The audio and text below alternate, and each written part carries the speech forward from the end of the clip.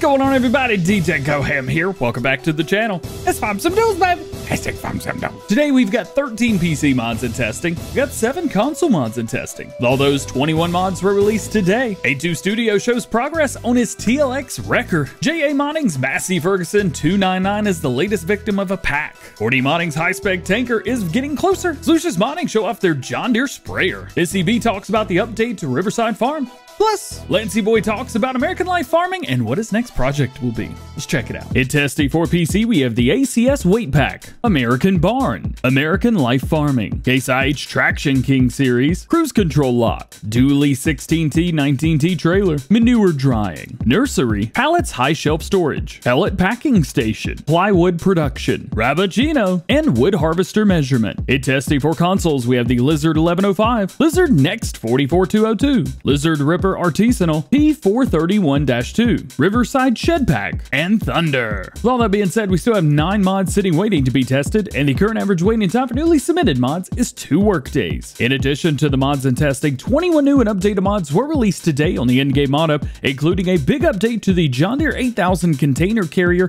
and lots of factory updates for console players. I've already made a video showing these off. You can find that video linked in the first pinned comment and description below. Making our way into today's top stories, we start with 82 Square Studio and their TLX Phoenix Wrecker, which is currently being made on his live streams for all platforms. This utilizes the Phoenix frame and setup, but with the addition of a wrecker body on the back.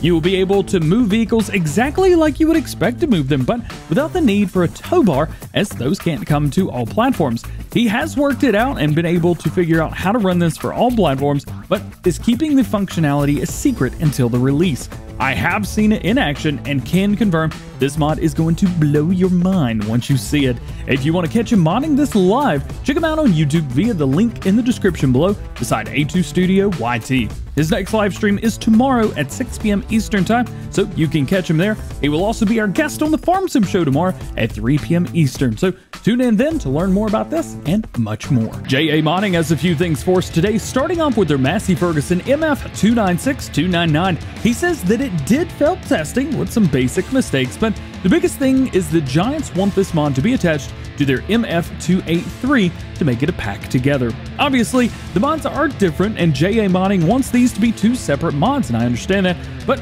we've seen this quite a bit lately and it's been made very clear to make things a pack or no mod release at all when Giants request that. So JA Modding will be sending this in as an update to make that pack together and say that it should be back on the testing list soon for all platforms. Secondly, from JA Modding, today we see their John Deere 670 single offset disc harrow starting to take shape now with the addition of the discs, where yesterday we didn't see them in the screenshot that we got then. It won't be massive, with the smallest version being 3.9 meters and the largest version being only 6.5 meters wide. Still, this is going to add another John Deere option for tilling, and I'll take that any day. 4D Modding update us on their high-spec 2300 SAR tanker today, saying that they are just starting to get the tanker in-game. They still need to skin the flexible hoses and make a couple of minor color changes to the UDIMs, but they're making great progress. The high spec will be compatible with their Mastec dribble bar and will also be released for consoles as a Lizard brand or something similar. As for their dually trailer, it is currently in testing and has been for the past three days straight, and they expect an update to them shortly in terms of the release or failure.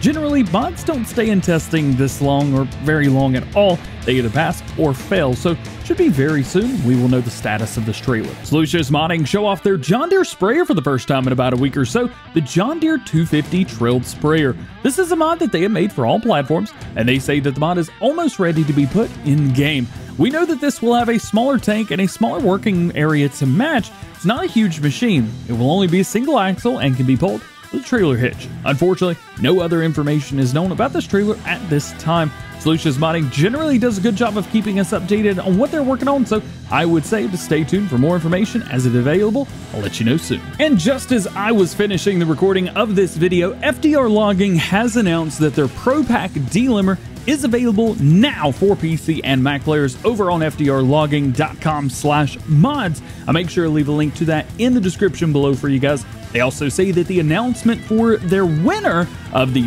two Thrustmaster joysticks is going to be announced later on today, so make sure you guys stay tuned for that. Missy B has completed the update to her latest map, Riverside Farm. This version will be version 1.0.5 and would include these major fixes. Fix the farmland issues, milk trigger working at the beef farm, replace the petrol station, reduce the seed usage for carrot and onions for planting, fix the storage at the main farm, add a new crop to the main silo, fix the food plane at the main cow farm, the dairy farm, fix the bunkers at the BGA and main farm. Other minor fixes were done as well. You will need a new game save for this, so if you are playing on there right now, just a heads up, you're gonna lose all of your progress. Also, a side note, there is an issue on Xbox. That was not said what it is, and I have no idea what it is, by the way. However, if you're on Xbox and there is a problem, go ahead and activate the Alpine DLC if you have it. If not, you may have to use the, uh, or have a problem, but activating Alpine DLC should fix it. I'm assuming that the roads are gone because this was a problem with one of TNT's mods, and she's asking about him as well in her post. So, rip Xbox players, I guess. Are you having any problems? If so, what are they? And lastly, today, Lancyboi's American Life Farming looks to have failed testing sometime yesterday after the list was created. Since yesterday, we saw it only testing list for consoles, aka second stage of testing, and today it's back in PC testing, which is the first stage of testing. Mods don't go backwards like that on their own.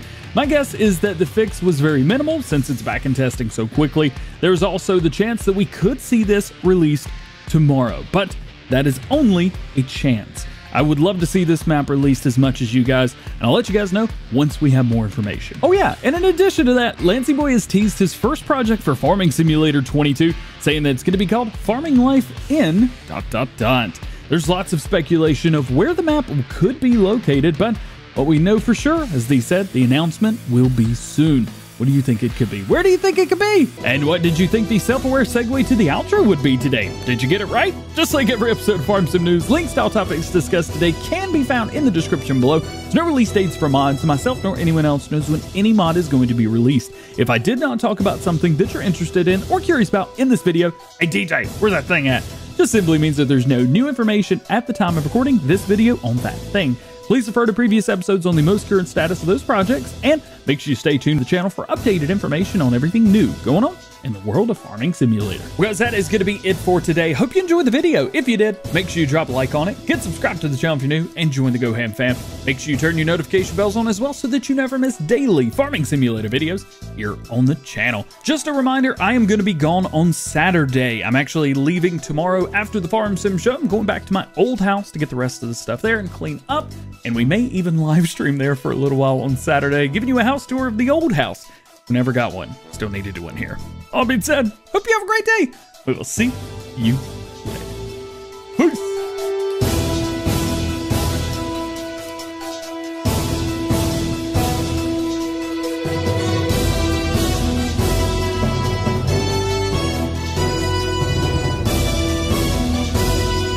For real though, I gotta get on this house tour. You guys have been asking me like crazy.